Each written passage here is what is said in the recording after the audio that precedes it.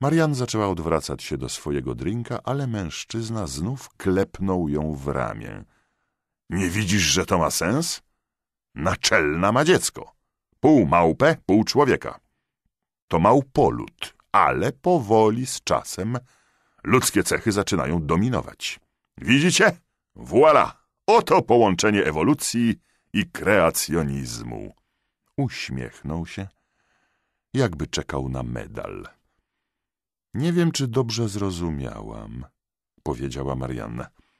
Bóg jest przeciwny kazirodztwu, ale popiera sodomię? Wąsacz protekcjonalnie poklepał ją po ramieniu.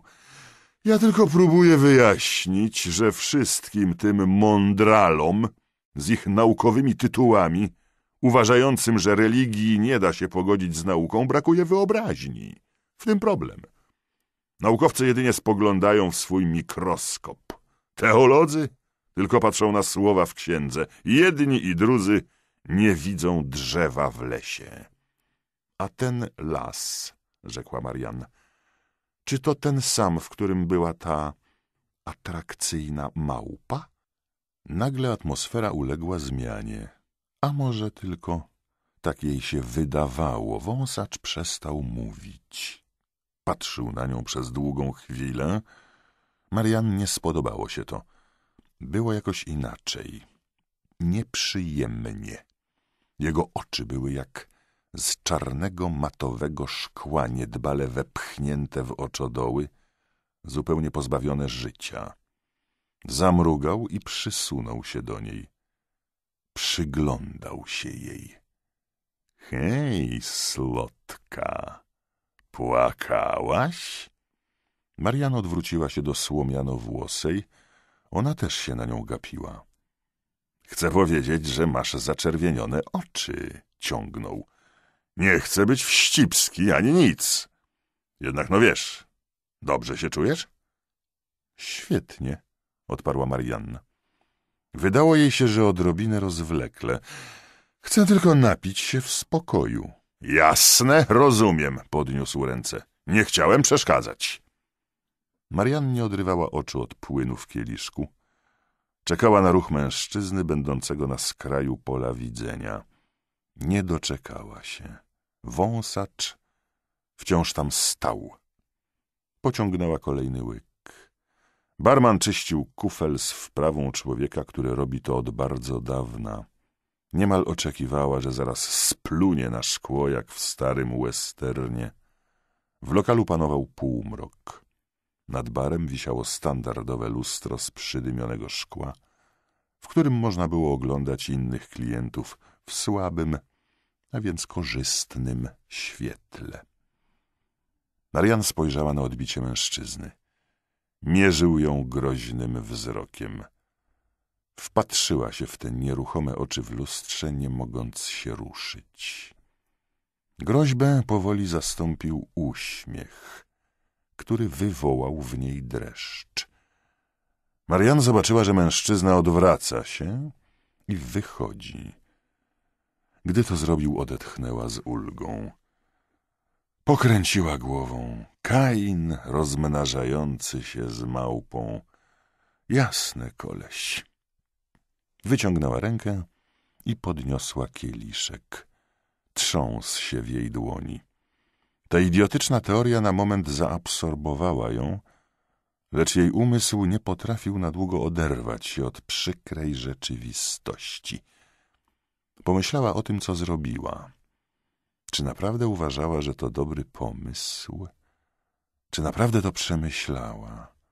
Cenę tego, konsekwencje dla innych, nieodwracalne zmiany w ich życiu. Chyba nie. Krzywda, niesprawiedliwość, ślepa furia, paląca, prymitywna żądza zemsty. I wcale nie biblijna czy ewolucyjna do licha, zasada oko za oko. Jak nazywali to, co zrobiła? Okrutny odwet? Znów zamknęła oczy i potarła powieki. Zaburczało jej w brzuchu. Zapewne stres. Otworzyła oczy. W barze było chyba jeszcze ciemniej, poczuła zawroty głowy. trochę na to za wcześnie. Ile wypiła? Przytrzymała się baru tak, jak to robisz w takie wieczory jak ten, kiedy idziesz spać po wypiciu zbyt wielu drinków i łóżko zaczyna wirować, więc musisz trzymać się go z całej siły, żeby siła odśrodkowa nie wyrzuciła cię przez najbliższe okno. Nasilało się bulgotanie w żołądku. Nagle szeroko otworzyła oczy. Poczuła przeszywający ból w brzuchu. Otworzyła usta, ale nie wydobył się z nich żaden dźwięk. Potworny ból ścisnął jej gardło. Marian zgięła się w pół. Dobrze się czujesz? Głos słomianowłosej. Wydawał się dobiegać z daleka. Ból był straszny. Najgorszy, jaki czuła, no cóż, od kiedy rodziła. Rodzenie dziecka. Sprawdzian Pana Boga. Och, i wiesz, co z tą istotką, którą masz kochać i zajmować się bardziej niż sobą, kiedy przyjdzie na świat i sprawi ci fizyczny ból nie do opisania. Fajny początek znajomości, nie uważacie? Ciekawe, co powiedziałby o tym wąsacz. Żyletki, bo tak właśnie to czuła. Przecinały jej wnętrzności, jakby chciały się wydostać. Straciła umiejętność racjonalnego myślenia, wszystko pochłaniał ból. Zapomniała nawet o tym, co zrobiła, o szkodach, jakie spowodowała nie tylko tego dnia, ale przez całe swoje życie. Jej rodzice przygaśli i przedwcześnie się zestarzeli przez jej nastoletni brak rozwagi. Pierwsze małżeństwo zniszczyła jej notoryczna niewierność. Drugie sposób, w jaki traktowała męża, a było jeszcze jej dziecko. Nieliczni ludzie, którzy przyjaźnili się z nią dłużej niż kilka dni, mężczyźni, których wykorzystała, zanim oni wykorzystali ją. Mężczyźni. Może to też był rodzaj zemsty. Zranić ich, zanim oni zranią ciebie. Była pewna, że zaraz zwymiotuje. Toaleta. Zdołała wykrztusić. Słyszę. To znów słomiano włosa. Marian poczuła, że spada ze stołka. Silne ręce chwyciły ją pod pachy i podtrzymały. Ktoś, słomiano włosa, poprowadził ją na tyły lokalu. Chwiejnie szła do toalety.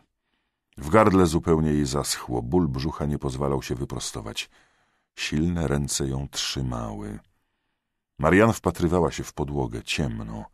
Widziała tylko swoje szurające, ledwie poruszające się stopy. Spróbowała unieść głowę. Niedaleko zobaczyła drzwi toalety i zaczęła się zastanawiać, czy kiedyś do niej dotrze. Dotarła. I szła dalej. Słomianowłosa trzymała ją pod pachy, skierowała Marian dalej, mijając drzwi toalety. Marian próbowała się zatrzymać, mózg nie usłuchał polecenia. Próbowała zawołać, powiedzieć zbawczyni, że minęli drzwi, ale usta też nie słuchały. Tędy na zewnątrz, szepnęła kobieta, będzie lepiej. Lepiej? Poczuła, że popchnięto ją na metalową dźwignię drzwi wyjścia awaryjnego. Drzwi ustąpiły. Tylne wyjście. To ma sens, pomyślała Marianna. Po co zanieczyszczać toaletę? Lepiej zrobić to w jakimś zaułku i odetchnąć świeżym powietrzem. Świeże powietrze może pomóc. Na powietrzu może poczuje się lepiej. Drzwi otworzyły się na oścież, z łoskotem uderzając o mur. Marian wytoczyła się na zewnątrz. Na powietrzu istotnie było lepiej.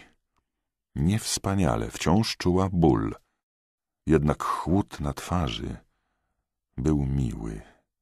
Wtedy zobaczyła furgonetkę. Furgonetka była biała, z przyciemnionymi szybami. Tylne drzwi były otwarte niczym paszcza, czekająca, by ją połknąć żywcem. A tuż obok tych drzwi stał mężczyzna z bujnymi wąsami, który teraz złapał Marian i zaczął wpychać do furgonetki. Marian próbowała się opierać, ale na próżno. Wąsacz wrzucił ją do środka jak worek torfu.